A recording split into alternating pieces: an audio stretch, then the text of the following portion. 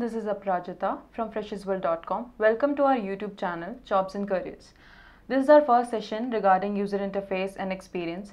So let's start with what is user interface and experience.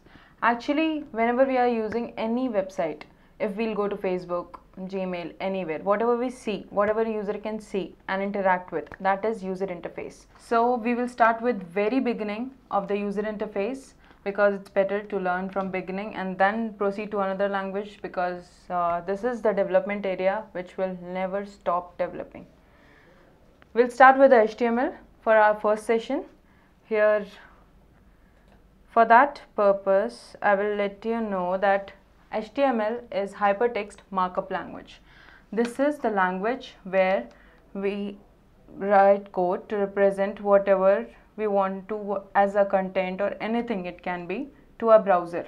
This is a communication between a browser and a developer to show our content to the user. First of all, I will tell you guys that it is really simple because there is no there is not much requirement for software installation and all but yes editor we need to write a code so you can use any editor whatever you are comfortable with as a beginner it, it can be anything a notepad or a sub, sublime. I prefer sublime actually because it's really good and and free also.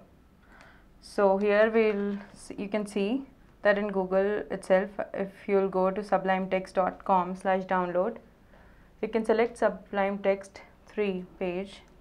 And here you are having several options to store uh, to download anyone according to your pc configuration whatever it is. It can be windows or ubuntu and after installing it you just run the application and you'll see this window here. Here I have uh, already created one document with HTML and uh, whatever you'll write it should have an extension when you're saving your file with .html so yes we'll start here with the very basic tags over here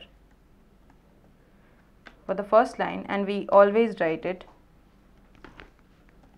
doc type HTML here doc type represents whatever version we are using for HTML just to inform browser that this is the correct version. Sorry that's not the thing.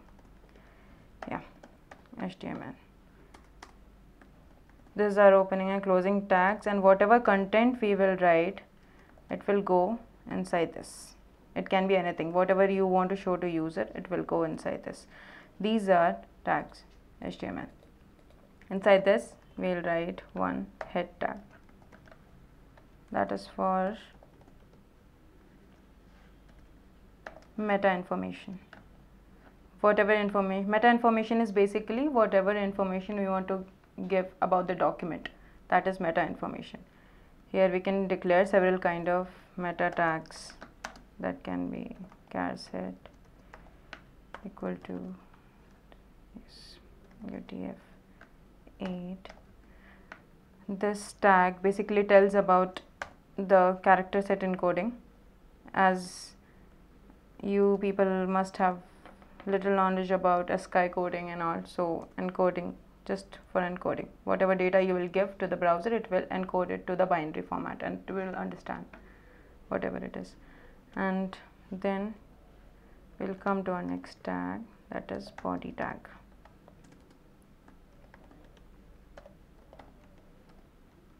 Yeah here your main content will go.